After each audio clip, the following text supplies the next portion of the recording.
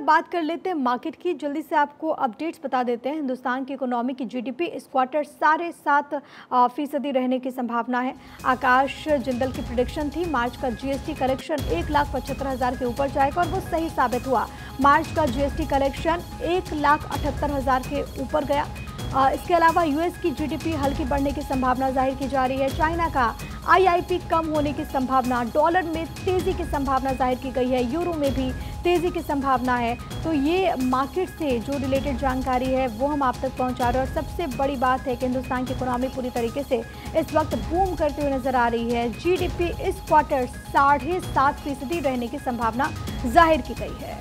और हमारे साथ इस वक्त आकाश जिंदल लाइव मौजूद है, सीधे उनका रुख। करते हैं। Akash ji very good morning और एक बार फिर से आपको बधाई, क्योंकि आपने जो प्रिडिक्शन की थी, फिर से वो सही साबित हुई है जीएसटी कलेक्शन के लिहाज से। आज मार्केट से क्या खबर लाए हैं आप? बिल्कुल सही कहा आपने प्रिया।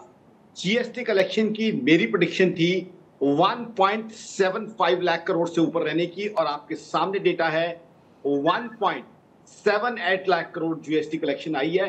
तो क्लियरली दिखा रहा है हिंदुस्तान की इकोनॉमी की तरक्की, हिंदुस्तान की इकोनॉमी किस तरीके से बढ़ रही है, किस तरीके से ग्रो कर रही है, और मोदी राज में, मोदी सरकार में जीएसटी लॉन्च हुई। उस समय कुछ स्केप्टिसिज्म भी था कि जीएसटी कामयाब होगी कि नहीं, लेकिन क्लियरली ये हमारे प्रधानमंत्री नरेंद्र मोदी साहब और उनकी टीम की काबिलियत है कि जीएसटी एक ऐसा सक्सेसफुल टैक्स बन के आया है जो हिंदुस्तान की इकोनॉमी काफ़ी बूस्ट दे रहा है। तो मेरी ऑर्गेनाइजेशन आकाश डॉट इन की ये प्रोडिक्शन थी। कि जीएसटी कलेक्शन 1.75 लाख करोड़ से ऊपर होगा और वो प्रोडिक्शन आपके सामने सही साबित हुई है और पूरे देश को बधाई, क्योंकि इतनी अच्छी जीएसटी कलेक्शन का मतलब है देश तरक्की कर रहा है देश ग्रो कर रहा है, देश में बाइंग और कंजम्पशन बढ़ रही है।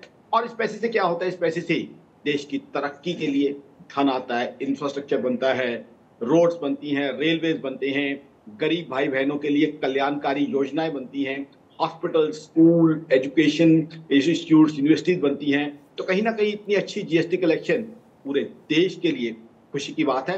इकोनॉमी की बात करें जीडीपी ग्रोथ इस बार भी अच्छी रहने की संभावना है, क्योंकि बाइंग और कंजम्पशन बहुत बहुत बढ़िया हो रही है, बहुत अच्छी बाइंग और कंजम्पशन हो रही है।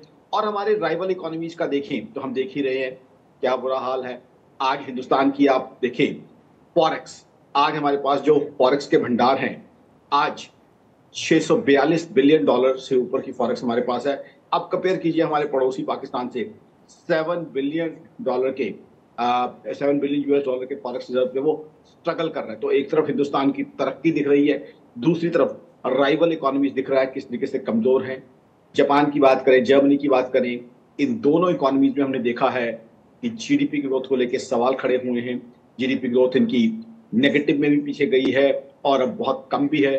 तो हिंदुस्तान जो फिफ्थ लार्जेस्ट इकोनॉमी अभी है और अब तो जर्मनी थर्ड लार्जेस्ट है जापान फोर्थ लार्जेस्ट है मेरी ऑर्गेनाइजेशन आकाश इंद्र डॉट का मानना है कि प्रधानमंत्री मोदी ने जो विजनरी अप्रोच जो एक ईज ऑफ़ डूइंग बिज़नेस या जो। इकोनॉमी को डेवलपमेंट करने के मंत्र जो फूके हैं वो कहीं ना कहीं हिंदुस्तान की इकोनॉमी को आने वाले तीन साल में वर्ल्ड की थर्ड बिगेस्ट इकोनॉमी के रूप में स्टेब्लिश करेंगे और उसका फ़ायदा हर एक को हर व्यक्ति को चाहे वो हमारा गरीब भाई बहन हो जो दूर के गाँव में रहता है चाहे मेट्रोपॉलिटन सिटी में रहने वाला है एवरीबडी और पॉजिटिव संकेत भी है कि भारत की इकोनॉमी बहुत तेज़ी के साथ बूम कर रही है।